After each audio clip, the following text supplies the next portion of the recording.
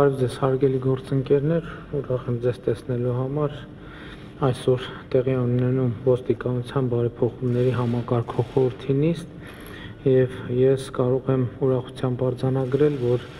խորհրդի գործունեությունը որոշակի հանգրվանի է հասել այն իմաստով, որ բարեկային ոստիկանությունը Հայաստանի Հանրապետությունում արդեն իսկ իրողություն է, որը էական փոփոխություն է մեր հանրապետության կյանքում եւ մենք տեսնում ենք, որ այդ process-ը նաեւ ինչպես պայմանավորվել ենք, առանց ընդհատման շարունակվում է եւ ներկայումս ընթանում է բարեկային ոստիկանության ներդրման process-ը Շիրակի եւ Լոռու մարզերում Իհարկե, այս ընթացքում նաև ի հայտ են եկել որոշ խնդիրներ, որոնք պետք է քննարկվեն եւ որ เป զի գործընթացը ավելի արդյունավետ լինի եւ բարեկային ոստիկանության աշխատանքները ավելի արդյունավետ լինեն, պիտի ընդգծեմ նաև, որ բարեկային ոստիկանության բարեփոխումները կամ ներդրումը շատ կարևոր գործընթաց է, բայց դա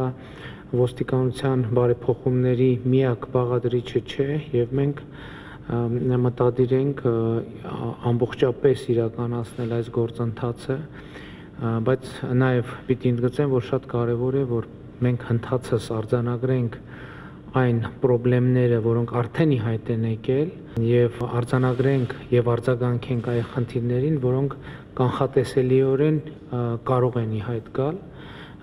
եւ այս ճանապարհով համակարգված առաջ ընթանանք